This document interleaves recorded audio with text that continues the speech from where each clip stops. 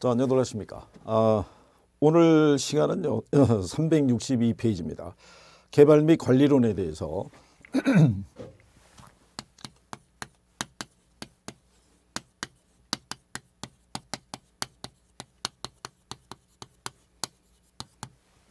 자, 여러분에게 제시된 목차가 개발 및 관리론으로 되어 있고요.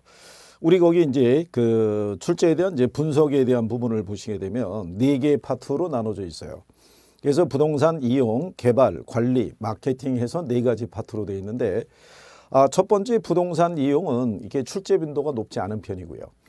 아, 그리고 이제 개발이 어려, 어, 어쨌든 간에 출제 빈도가 좀 높은 편이다라고 보시면 되겠고요. 아, 적게는 한 두 문항, 많게는 한 네 문항 정도. 아, 그리고 관리하고 마케팅이 있으면은 각각 한 문항 정도씩 예, 출제되는 아, 비중이 있다. 그래서 이제 그 안에서 이제 또 우리가 중시해야 될 내용들이 있겠죠. 그래서 이제 그런 것들을 이제 정리하시면 되겠지 않겠나. 자, 어쨌든 간에, 음, 교재도 이제 이게 후반부로 들어가고 있습니다. 우리가 이제 개발 및 관리론을 마무리하면 감정평가론 하나만 남게 되죠. 예, 그래서 지금까지 이제 배웠던 내용을 토대로 해가지고 복습이 제대로 이루어지고 있는지 다시 한번 점검해 보시고 이 단원에서는 어떤 게 더 중요한 건지 예, 그런 거 확인하시면 될 거예요. 자, 그러면 이제 제일 먼저 나오는 게 부동산 이용입니다. 아, 여기서의 요 이용에 대한 거는요. 우리가 이제 부동산을 배웠을 때 아, 뭐를 배우셨냐면 부동산이란 토지 및 건물 뭐 이렇게 배우셨는데 여기서의 부동산 이용은 예, 토지 이용을 얘기를 합니다. 그죠? 예. 근데 요 토지 이용이라는 게 주로 이 도시 지역에서의 토지 이용을 얘기하고 있다. 그러면 우리가 토지를 이용을 해서 우리가 얻고자 하는 시설물들을 만들어내야 될 거 아니겠어요? 예, 그럴 때 그 행위 기준으로 제시가 되는 게 바로 뭐냐면 그게 최이호 이용이라는 거예요. 그래서 그 밑에 가시면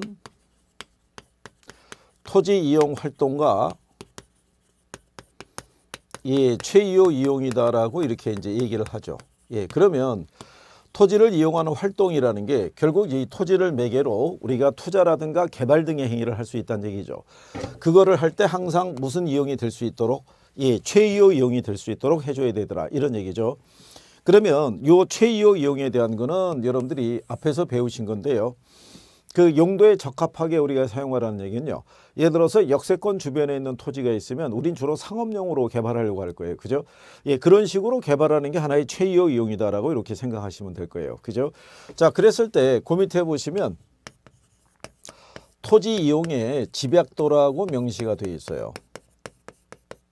아, 토지용의 집약도라는 거는요. 단위 면적의 토지에 그러니까 뭐 평방미터당 이렇게 생각하시면 되겠죠. 투입되는 노동과 자본의 상대적 양의 크기를 가지고 이 집약토의 크기를 결정을 하게 돼 있어요. 그럼 여러분들이 아 이게 집약도라는 게 무슨 얘기냐? 단위 면적의 토지에 대비해서 투입되는 노동과 자본의 양이 큰 거를 우리가 집약적 이용이라고 그러고요. 그 다음에 이제 이게 적은 거를 우리가 조방적 이용이라고 얘기를 하죠. 예, 이런 용어에 대해서는 여러분들이 지대론 하실 때 있죠. 생산 요소의 대체성과 도시지대 이런 거 하셨을 때 도심 지역은 토지 가격이 비싸잖아요. 그죠? 그러면 사용하는 토지의 면적보다는 노동과 자본을 더 많이 투입해서 건물을 고층화시키는 것도 있죠. 예, 그게 집약적이요. 근데 외곽을 나가게 되면 토지 가격이 싸잖아요. 그러니까 상대적으로 단위 면적 대비 투입되는 노동과 자본의 양이 적다는 얘기는 그렇죠. 고층 건물은 찾아보기 힘들다는 거죠. 그게 조방적 이용이라는 거죠. 그것들이 나름대로의 최이호 이용이다라고 보시면 될 거예요. 자, 그래서 근데 이제 여러분들이 보시면 집약적인 이용을 한다는 얘기는 건물이 고층화된다는 얘기인데 그렇다고 해서 무한대로 뻗어나갈 수는 없잖아요. 그죠? 그래서 집약 한계점까지만 이용하는 거. 그래서 그게 아, 한계 수익과 한계 비용이 일치하는 점까지 우리가 이용하는 걸 얘기하고요. 조방적 이용은 총 수익과 총 비용이 같아지는 점이에요. 그걸 우리가 조방 한계라고 그래요. 그 한도 내에서만 집약적 이용과 조방적 이용이 이루어진다는 것 정도로만 예, 인식하시면 될 거예요. 예, 그 다음에 이제 지가하고 토지용 관계가 구성이 되어 있는데요. 지가하고 토지용 관계는요, 밀접한 상관관계가 있다고 보시면 되는데, 지가가 비싼 곳일수록 집약적 이용을, 지가가 싼 곳은 조방적 이용이 이루어지겠죠. 그러면 대부분의 도시 지역에서는 집약적 이용이, 농촌 지역에서는 조방적 이용이 이루어질 수 있다라고 얘기하는 경우죠. 예, 그래서 그냥 그런 정도로 간단하게 정리하시면 되겠고요. 그러면 뒤에 나오는 게 입지잉여라는 용어가 있는데요. 입지잉여라는 것도 여러분들이 입지론에서 한번 배워보신 거예요. 입지잉여라는 것은요. 경영을 잘해서는 얘기 아니라 목이 좋아서는 얘기예요. 그렇죠? 위치가 좋아서는 이 그거를 우리가 입증이라고 그러는데 그런데 목이 좋은 위치는 한정돼 있으니까 그 위치를 차지하기 위해서 경쟁이 펼쳐지겠죠. 예, 그러면 가장 높은 사용료, 즉 지대를 지불할 수 있는 용도의 그 토지가 사용이 되더라라는 것을 우리가 얘기하고 있으니까요. 예, 그런 정도만 예, 참고하셔도 되더라. 시험에서 입증여라고 따로 이렇게 나오고 그러지는 않는데요. 왜 이게 이제 이쪽에서 또 용어가 바뀌어서 나오냐면 번역상의 차이라고 생각하시면 돼요. 예전에 번역을 했던 분들하고 최근에 또 번역을 한 분들에서 이 번역의 어떤 이제 차이가 좀 있다 보니까 같은 내용인데도 제목만 바뀌어갖고 중복되는 경우가 조금 있어요. 예, 그래서 근데 뭐 시험상에서는 뭐 인용이 잘 안 되니까 예, 그거는 뭐 참고하셔도 될 거예요. 자, 그러면 이렇게 우리가 토지를 이용을 하다 보면요. 그로 인해서 발생하는 현상이 있어요. 그죠? 예. 그래서 그 이제 아 364페이지에 가면요. 예, 토지 이용 이 현상이라고 나와 있죠.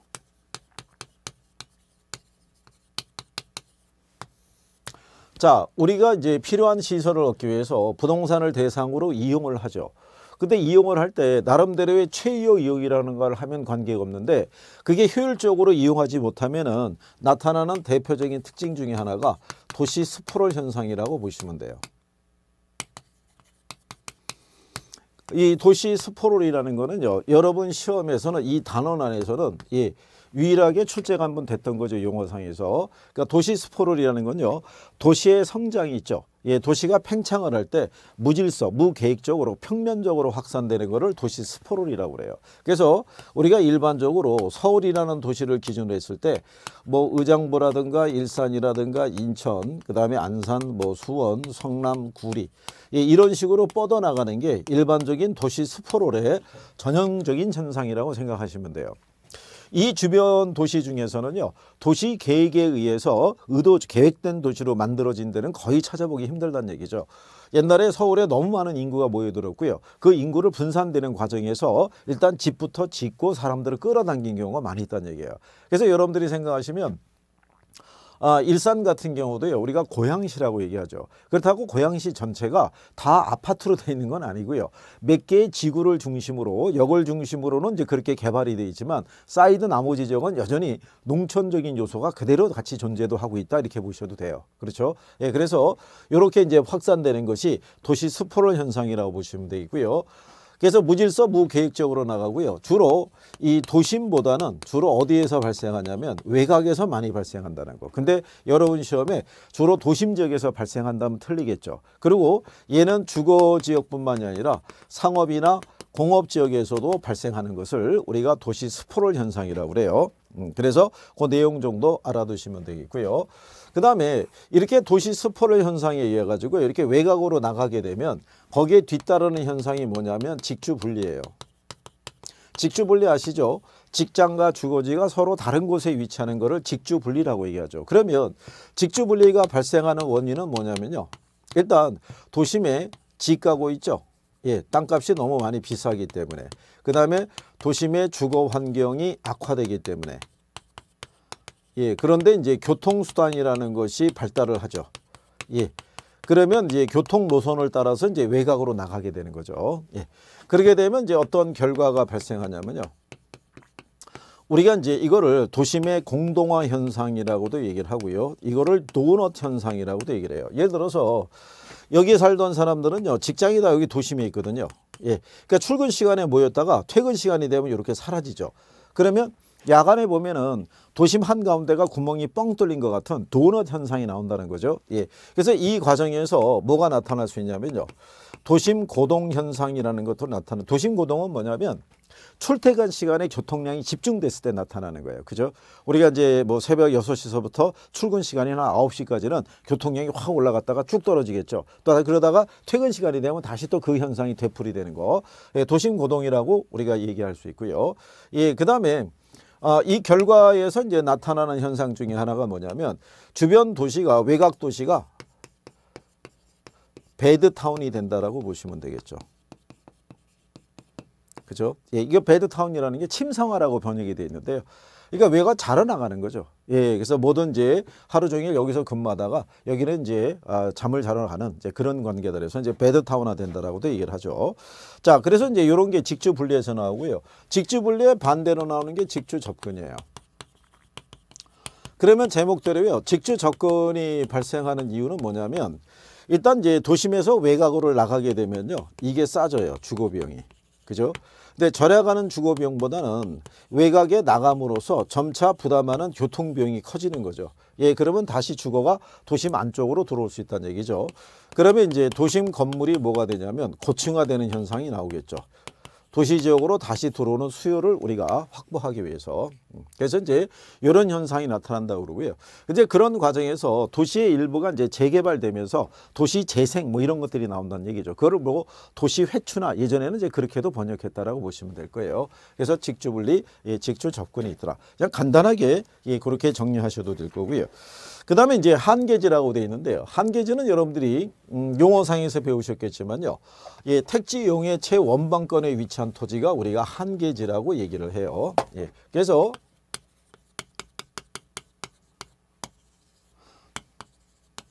택지 이용의 최원방권이다. 그러면 여러분들이 아시다시피 우리가 택지로 이용한다는 얘기는 주거나 상업이나 그죠? 그 다음에 공업적인 용도로 우리가 활용하는 걸 얘기하는데 도시에 이제 외곽을 나가다 보면요. 더 이상 이제 주택이나 상가나 공장들이 거기서 보이지 않는 지점에 도달하죠. 그걸 우리가 한계지라고 이렇게 생각을 하시면 될 거예요. 그런데 도시는 팽창하게 돼 있어요. 그죠? 그러면 도시는요. 팽창하는 과정에서 주변 농경지를 잠식하면서 이렇게 팽창한다라고 생각하시면 돼요. 그죠? 그래서 도시 지역이 이렇게 구성이 돼 있을 때요. 주변에 농촌 지역이 있잖아요. 근데 이제 팽창을 할 때 특정한 이제 예를 들어서 교통 노선을 중심으로 팽창한다 그러면 개발이 예상이 되는 지역의 토지는 주변 농경지하고는 지가 수준이 서로 틀리겠죠. 그래서 단절 지가라는 걸 형성하더라. 뭐 이렇게도 얘기할 수 있죠. 그래서 이제 그렇게 여러분들이 보시면 되겠고요. 그래서 이제 대중교통수단을 주축으로 연장이 된다는 건요. 아, 여러분들 아시다시피 서울의 잠실 일대는요. 그게 경기도 광주군 소속이었고요. 그죠? 예, 그다음에 아, 서울에 가면은 그 아현동 일대가 있어요. 예, 그 신촌이 있는데 예, 거기까지는 예전에 경기도 고양군 소속이었어요. 그러니까 그게 다 이렇게 확산이 되는 거죠. 그래서 대중교통 수단을 주축으로 확산이 된다라고 여러분들이 생각하시면 될 거예요. 마지막에 나오는 이 자가의 한계지는 차가의 한계지보다 더욱 택지용의 원방권에 위치한다고 되어 있는데요. 요게 이제 옛날에 번역을 해서 이제 그렇게 돼 있는데 기본적으로 뭐 우리가 투자 개념으로 본다 그러면 가령 예를 들어서 내 집을 마련하는 거는요 조금 멀리 나갈 수 있어요. 예, 그런데 내가 새를 살게 되면은 출퇴근 관계를 고려해야 되니까 조금 더 도시 지역에 가깝게 위치하려고 할 거예요. 그죠? 예. 그래서 그 거기에 따라 느끼는 예, 결정이 되는 한계지가 예, 틀리다라고 이렇게 생각하시면 될 거예요. 자, 그래서 이제 그런 내용 정도로 정리하신 거고요. 음, 그다음에 이제 우리는 그 다음 파트로 개발에 대한 거를 정리를 해 보시는 거죠.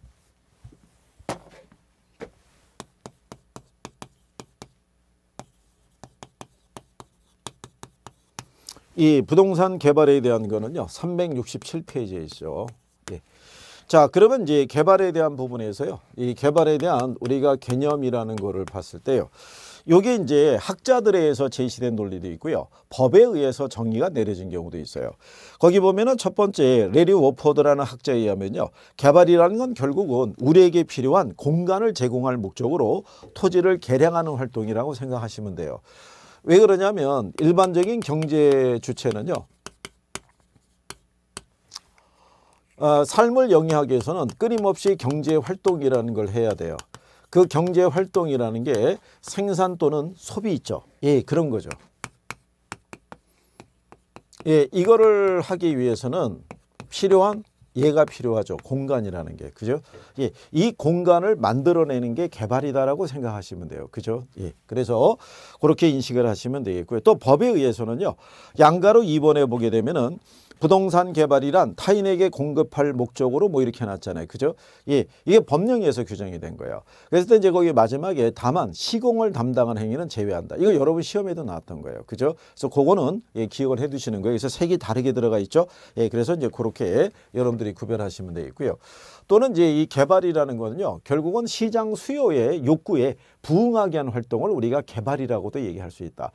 아, 우리가 이제 경제 어떤 이제 규모가 달라지고요. 그 다음에 이제 소득에 대한 부분, 주거에 대한 인식 또는 이 사회적인 어떤 가치관 뭐 이런 것들이 변함에 따라 공간을 필요로 하는 것들이 매번 달라진다라고 생각하시면 될 거예요. 그죠? 예, 그래서 그 수요에 부응해서 필요한 공간을 만들어내는 게 개발이다. 예, 그런 정도 하시면 되겠고요. 근데 개발을 하려고 그러면요. 그 밑에 가면 조성에 의한 개량이라는 거죠. 일단은 개발 행위라고 해서는 대지 조성을 해야 되잖아요. 그죠? 예. 그것도 이제 저분 의미에서는 개발이라고 그러고요. 그 다음에 조성된 토지에다가 건축물까지 집어넣는 것도 넓은 의미에서는 개발 그렇게 얘기하는 거예요. 그래서 이거를 협의의 개발, 예, 이거는 광의의 개발, 예. 이렇게도 우리가 표현하고 있으니까요. 예. 자, 그 다음에 이제 뒤에 보시면은 개발에 따른 분류라고 되어 있는데요. 이 분류를 보시게 되면은 개발 주체에 따라요. 아, 공공 부문과 사적 부문 이렇게 돼 있는데 그거는 이제 간단하게 보시면 될 거예요. 개발 주체는요. 제1섹터도 있고요. 제2섹터도 있고 제3섹터가 있어요. 그래서 거기 첫 번째 나오는 공공 부문이 예, 이게 제1섹터. 그 다음에 이제 민간 부분에 사적 부문이라고 돼 있죠. 예, 여기서 하는 것을 제2섹터. 그렇죠?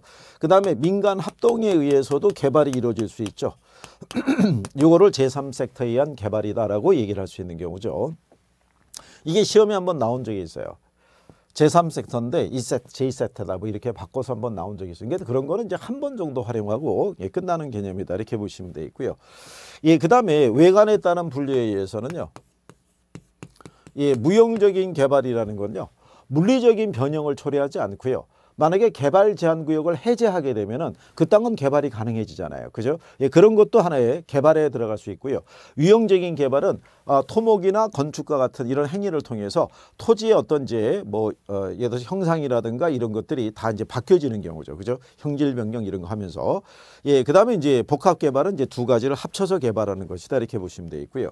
그다음에 그 토지 취득 방식에 따라서 우리가 분류할 수도 있어요. 예, 토지 취득 방식에 따라 보면은 제일 먼저 나오는 게 매수 방식이죠. 매수 방식 또는 수용 방식이라고도 얘기를 해요. 그러니까 요거는 토지를 매수를 해서 누가 공적인 주체가 그래서 개발 사업이 추진하기 때문에 원래 토지 소유자의 권리가 소멸되는 방식이라고 이렇게 생각하시면 되겠고요. 예. 그다음에 이제 환지 방식이라고 있어요. 근래 시험에는 얘가 언급이 되는 거죠. 예, 환지 방식. 근데 여기 환자가 보면은 바꿀 환자예요. 토지를 바꿔주는데 원래 토지보다는 이 소유권 관계 범위가 축소가 되죠. 왜냐하면 이게 이제 토지구역 정리 사업을 할 때 이제 환지 방식을 채택할 수 있는데 그러면 토지구역 정리 사업을 시행하다 보면 비용이 발생하잖아요. 그러니까 그 비용에 대해서 원래 토지 소유자의 땅을 일부러 떼어내는 거예요. 띄어내서 그거를 가지고 채비지라는 걸 조성해서 그거를 매각해서 자금을 조달하거든요. 그리고 이제 구획 정리가 끝나면 원래 토지 소유자에게 토지를 돌려주는 거예요. 이제 바꿔주는데 원래 토지에서 일부 땅을 띄어냈잖아요. 그죠? 예, 그래서 그 축소된 것만큼 돌려주는 거예요. 그러니까 권리가 축소되는 형이라고 얘기를 하죠.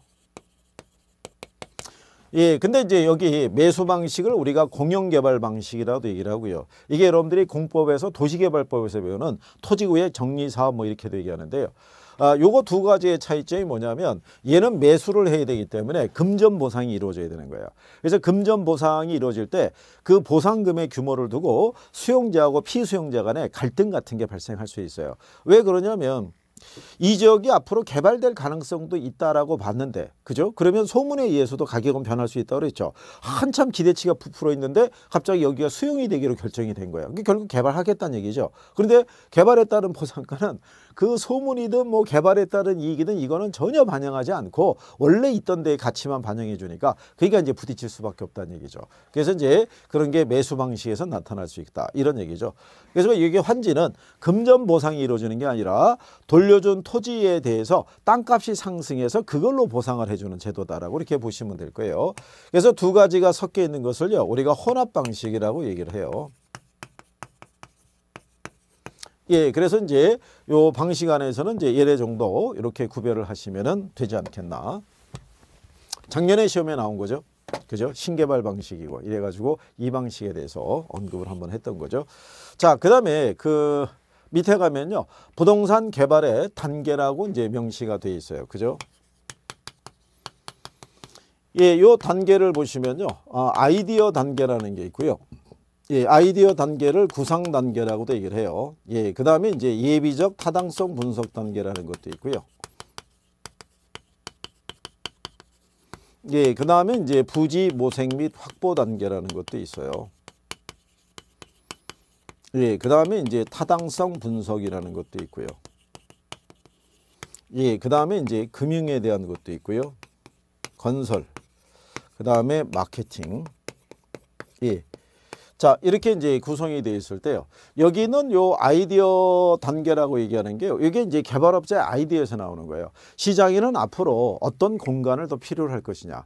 근데 여러분들이 아시다시피 우리나라의 1인 가구가 많이 증가했다는 거 아시죠? 예, 그러면 앞으로 1인 가구에 대한 수요가 많아지지 않을까? 그러면 그 사람들이 원하는 공간, 그 다음에 이제 여러분들이 아시다시피 이번에 코로나19로 인해서 우리가 많은 예, 이제 여러 가지 이제 생활상의 사회상의 변화가 앞으로 예견이 되는데 기본적으로 아, 우리가 이제 코로나19가 독감 같은 형식으로 계속 우리 생활 주변에 계속 머물고 있다는 가정이라고 그러면 재택근무가 늘어날 거란 얘기예요. 그러면 종전에 주거를 위한 공간뿐만 아니라 업무까지도 볼 수 있는 공간을 필요하지 않겠느냐. 그러면 그런 복합 주거 형태 있죠. 예, 그럼 그런 거를 지어서 분양하면은 혹시 수요가 있지 않겠는가 예, 이런 걸 우리가 예측을 하는 거예요. 그죠? 예. 그래서 예 그런 아이디어를 이렇게 짜내는 거죠. 그러면 아이디어를 냈으면 거기에 따른 사업성 분석을 해야겠죠. 그죠? 경제성이 있을까 이런 걸 따져야겠죠. 그래서 여기서 판단해서 경제성이 있으면 다음 단계로 가는 거고요. 경제성이 없으면 원점에서 재검토한다 이런 얘기예요. 그러면 경제성이 있다고 판단이 됐으니까 여기는 대충 계산해 본 거예요. 그러면 부지를 확보해야 돼요. 이게 개발 사업의 성패를 좌우할 때 이게 중요한 요소가 되죠. 그래서 부지를 우리가 이제 확보하고 나면 여기는 타당성 분석은 보다 구체적으로 가는 거예요. 그러면 보다 구체적이라는 건요. 법률적, 예, 기술적, 경제적, 예, 이런 세 가지 관점에서의 타당성 분석을 했을 때 가장 중요한 건 경제적 타당성 분석이죠. 돈이 돼야지 일단 개발 사업을 추진하죠. 예, 그래서 이 경제적 타당성 분석의 결과는 모든 개발업자에게 동일하게 적용되진 않아요. 왜냐하면 개발업자마다 요구하는 수익률이 틀리니까. 그래서 이게 있다고 보면 이제 구체적으로 자금 조달이 필요하겠죠. 그래서 이때 부동산 개발 금융이 있죠. 예, 이런 이제 금융의 조달, 여러분들이 금융에서 배웠던 프레이트 파이낸싱이란 이런 걸 가지고 자금을 조달하고요. 그러고 난 다음에 이제 시공사를 선정해서 예, 건설을 하는 거죠. 그 다음에 마케팅이 있는데요. 아, 요 마케팅은 마지막 단계에서도요. 요거는 이 개발 사업 초기부터 이 구상 단계에서부터 마케팅에 대한 전략 이런 거는 이때 다 수립이 된다고 보시면 되죠. 그죠? 예. 그래서 요 마케팅을 할 때는 분양을 했을 때 마케팅 전략과 임대를 위주로 한 마케팅 전략이 서로 틀려요. 그렇죠? 근데 이제 여러분들이 가만히 보시면 혹시 그런 거 못 느끼셨나요? 상가 같은 거 이렇게 이제 분양을 하잖아요. 분양을 하면 뭐가 뭐가 입점 예정 뭐 이런 거 막 붙여놓잖아요. 그죠? 물론 이제 광고하는 것도 있지만 그것도 하나의 전략이라고 볼 수 있죠. 가령 예를 들어서 그 예를 들어서 그 점, 어, 점포 안에 가령 예를 들어서 뭐 영화관이 입점하기로 확정이 됐다. 그러면 영화를 보기 위해서 사람들이 일단 찾아올 거 아니에요. 그럼 고객이 그 건물을 찾아오는 순간에 그 건물 안에 들어가 있는 다른 군소 점포들도 매출에 영향을 받을 거란 얘기죠. 그러면 자기들의 광고를 내는 것보다도 더큰 광고 효과를 그 건물 안에 있는 예, 그 메인 역할하는 게 해주는 거죠. 예, 그래서 누구를 확보하는 게 중요하다고 그러냐면 중요 임차자 또는 정박 임차자를 확보하는 게 그래서 중요하다는 거예요. 영화관 같은 것들이 한번 입점하면요 쉽게 자리 이동하진 않죠. 예, 그래서 그거를 확보하는 게 조금 더 주안점이다라고 얘기하는 경우죠. 예, 그래서 이렇게 일곱 가지의 단계에서 우리가 이제 개발의 단계 예, 이런 것들을 확인할 수 있다 이런 표현이죠. 예, 그 다음에 아, 뒤에 이제 371페이지에 가시면요. 부동산 개발의 위험이라고 되어 있어요. 근래에는 이제 한때 위험에 대해서도 여러분에게 그 여러 번 출제를 했었다. 뭐 이렇게 여러분들이 보시면 되겠는데요. 그래서 개발의 위험도 기억은 해 두셔야 돼요. 그죠? 그러니까 별표가 이제 주어져 있는 거죠. 그러면 이제 이게 그 아까 우리가 이제 초입에 만났던 그 레리 워퍼드라는 학자는요. 그 위험을 법률적 위험이라는 것도 있고요. 그 다음에 이제 시장 위험도 있고요. 그 다음에 비용 위험이라는 것이 있다고 그래요. 그러면 법적인 위험은 어디랑 관련이 되어 있냐면 각종 인허가에 관련이 돼 있어요. 그죠? 예, 만약에 인가가 안 떨어지게 되면은 사전에 투입했던 비용 다 날라가잖아요. 그죠? 예, 그래서 이런 법적인 위험을 피하기 위해서는 이용 계획이 확정된 토지를 활용하는 게 하나의 방법이다. 거기 예, 보면은 법적 위험에 양가로 3번에 보면 나와 있죠. 예, 그게 하나의 대처 방안이다. 이런 얘기고요. 그다음에 시장 위험은요. 예상치 못한 경기 침체로 인해서 분양이나 임대가 잘 안 될 수도 있잖아요. 그죠?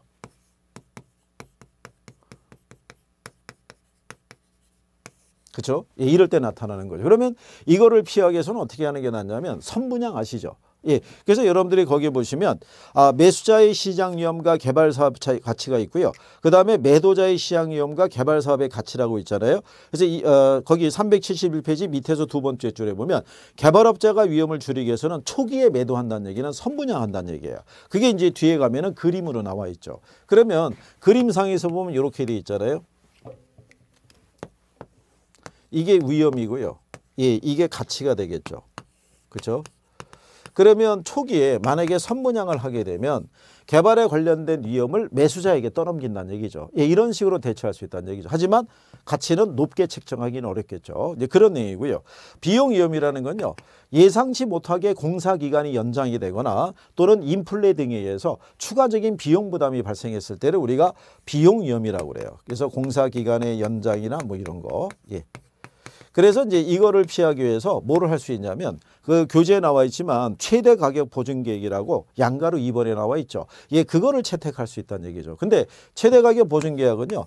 만약에 이렇게 오피스 하나 지을 때 전체 공사비가 50억이라고 그러면 50억의 약정을 맺는 거예요. 그래서 이 한도 내에서 공사를 완성시켜 주는 거를 약속을 하는 거죠. 예, 그런데 문제가 뭐냐면 이렇게 하다 보면 이 시공사 입장에서는 추가적인 비용 부담이 들어갈 때 그 비용을 안기 싫잖아요. 그러면 자재를 조금 안 좋은 걸 쓰면서 부실 시공이나 이런 것들에 문제점도 있는 거예요. 그러니까 이런 위험에 대처하기 위한 방법이라는 게 절대적으로 모든 문제를 해소시켜 주는 것은 아니고 다만 줄이는 방법 등으로 우리가 활용할 수 있다는 거. 예, 그다음에 이제 372페이지 하단하고 이제 373페이지 상단에 있는 거는요.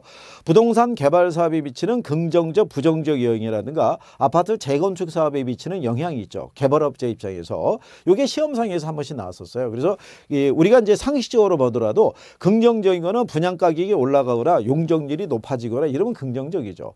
예, 그런데 용적률이 줄어든다든가 공사 기간이 늘어나서 비용이 계속 추가로 발생하는 건 부정적이죠. 예, 그래서 이렇게 해서 이제 박스 안에다 주고요. 긍정적인 거, 부정적인 거 구분해라 이렇게 해서 나왔던 적이 있으니까 아마 읽으시면은 예, 충분히 우리가 구별이 가능한 아, 내용이다 이렇게 생각하시면 하시면 될 거예요. 자, 그래서 예, 개발에 들어와서 예, 개발에 따른 단계, 그 다음에 개발의 위험까지 정리해 봤고요. 다음 시간에는 이제 개발의 타당성 분석에 대해서 정리해 보도록 하겠습니다.